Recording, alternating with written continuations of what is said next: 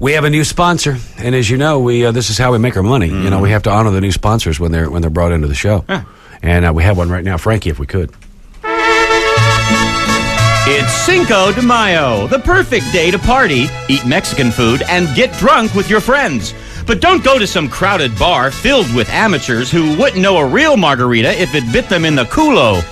Come to Taco de Mayo, the new Mexican bar and grill where the drinks are strong, the food is authentic, spicy, tasty, and made fresh, just the way you like it. And here's the best part.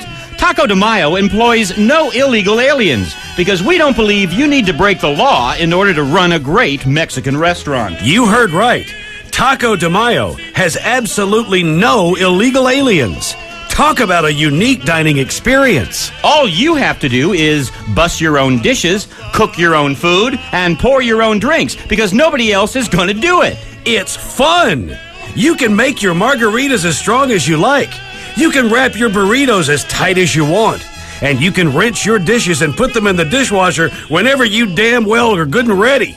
There's absolutely no rush. At Taco de Mayo, every day is Cinco de Mayo. By the way, we do offer valet parking. All our valets are Irish. But don't worry, some of them are sober. We're so confident that you'll love Taco de Mayo that we're willing to say, we think you'll love Taco de Mayo.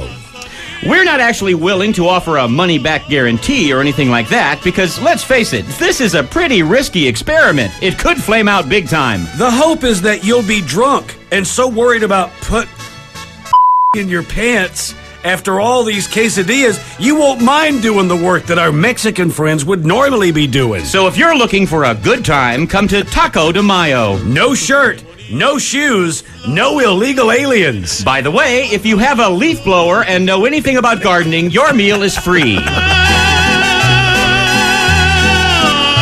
Happy Cinco de Mayo, everyone. Sounds like a, you know, um,